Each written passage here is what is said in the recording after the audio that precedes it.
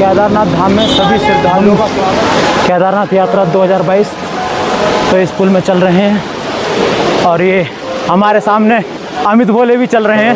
शंकर भगवान की तो अभी हमारा पूरा का पूरा ग्रुप है। बाई जीप हम जा रहे हैं जो कि जीप में बैठे हुए हैं सारे के सारे। ये हम यहाँ पे सोन प्रयाग से गौरीकुंड तक के लिए जा रहे हैं। तो किलोमीटर का डिस्टेंस है पाँच किलोमीटर का पूरा डिस्टेंस है। पचास रुपए सवारी है। तो पर बोले तो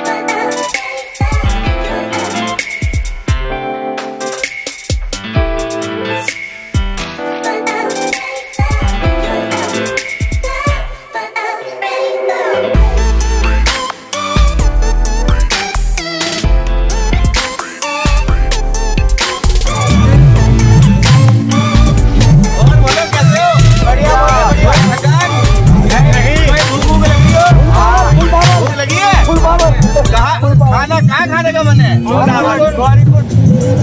वृंदावन कौन बोला वाला बोला खाना खाएँगे हम गौरीकुंड में मामा बाँध ढाबे पे तो ये हम पूरी फुल पहाड़ी वादी में आ चुके हैं और ये देख ही रहे हो आप ये कितना ऊँचा पहाड़ ऊँचा पहाड़ है। और ये भी ऐसी काफ़ी ऊँचा है और यहाँ से पानी की बौछार टपक रही है। ये देख सकते हो कितना ऊँचा पहाड़ है।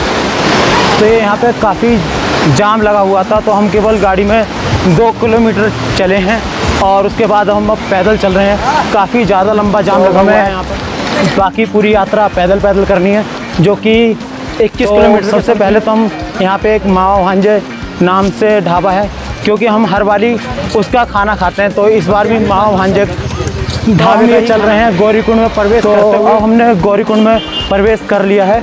और यहाँ से 16 किलोमीटर दूर है जो हम पैदल पैदल जाएँगे। किलोमीटर की यात्रा है बोलो? केदारनाथ।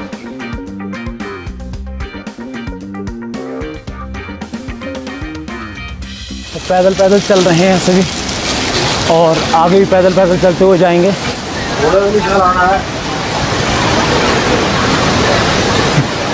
बोले जय बाबा केदारनाथ! ये देख ही सकते हो झरना कितना प्यारा लग रहा है। पानी का माहौल देख सकते हो, मेरी सारी यूट्यूब फैमिली देख सकती है। सभी लोग चल रहे हैं बाबा केदारनाथ धाम। तो एक बार प्यार से बोलिए, जय बाबा केदारनाथ। सभी लोग गौरीकुंड आ चुके हैं पैदल चलते चलते। तो आगे हमारे सामने आने वाला है माओ हंजा ढाबा तो उस पर हम खाना खाएँगे।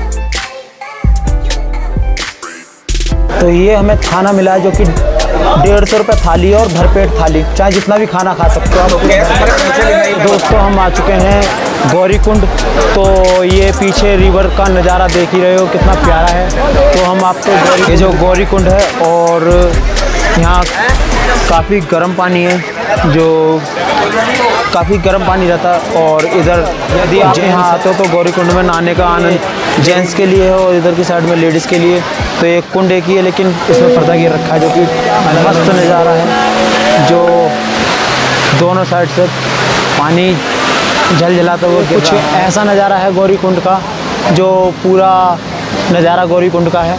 तो यहाँ आके ज़रूर एक बार आनंद उठाइए और अगर आप अधिक केदारनाथ आते हो तो प्लीज़ इस गौरी कुंड को गौरी कुंड का नज़ारा कुछ इस तरीके का है जो आप देख ही सकते हैं।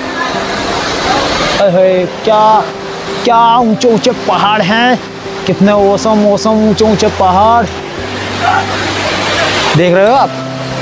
कितने ऊँचे ऊँचे पहाड़ हैं। और खासकर आसमान के मेरे पीछे जो खच्चर हैं तो यहाँ से जो खच्चर हैं तो इन्हों का कहना यह है, छब्बीस सौ रुपये सवारी केदारनाथ की। तो यदि आप पैदल नहीं चल सकते, बुज़ुर्ग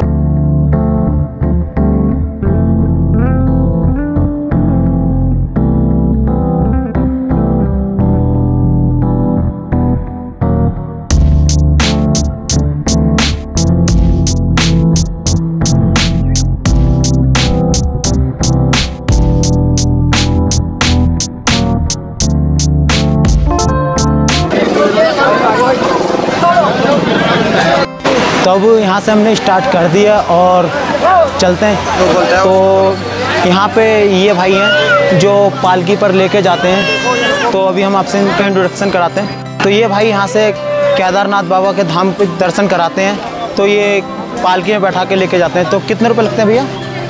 अब पचास किलो होता तो तीन चार हज़ार में भी ले जाता है।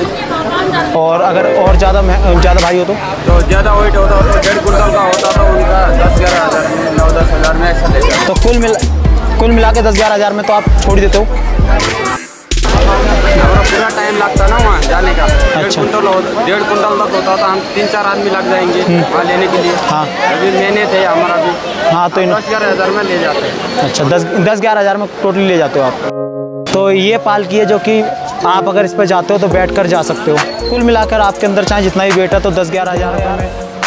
ये कितना मेहनत करते हैं और आपको 21 किलोमीटर लेके जाते हैं यार 21 किलोमीटर कम थोड़ी ना होता है। काफ़ी ज़्यादा होता है यार। तो इन्हों भी यार बेचारों को बस पेट की वजह से क्या से क्या कर लेते हैं लोग बाग। तो बाकी अगर आपका विचार है तो यार मेरी वीडियो देखकर अगर आपका विचार बनता है बाबा केदारनाथ के दर्शन के लिए तो गाय ज़रूर आइए आप और बच्चे हो, बड़े हों, बूढ़े हों, कोई टेंशन नहीं है, बस सिर्फ़ थोड़ा सा पैसा हर एक जगह लगता है, आपने भी पता है, क्यों पैसा है तो सब कुछ है। और पैसे के नाम पे जो भी खर्चा आएगा, मैं आपको वीडियो में, पूरी कंप्लीट वीडियो में बता दूँगा।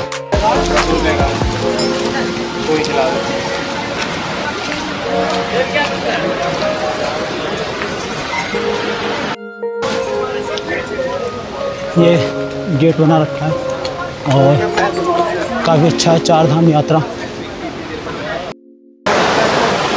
ये आप देख ही सकते हो कितना ऊँचा आ चुके हैं। और अभी और ऊँची पहाड़ी है। तो मैं तो अभी काफ़ी ऊँचा चलना है। पर यहाँ का बीप्स कितना औसम आता है। ये आप देख ही सकते हो। श्री केदारनाथ पंद्रह किलोमीटर।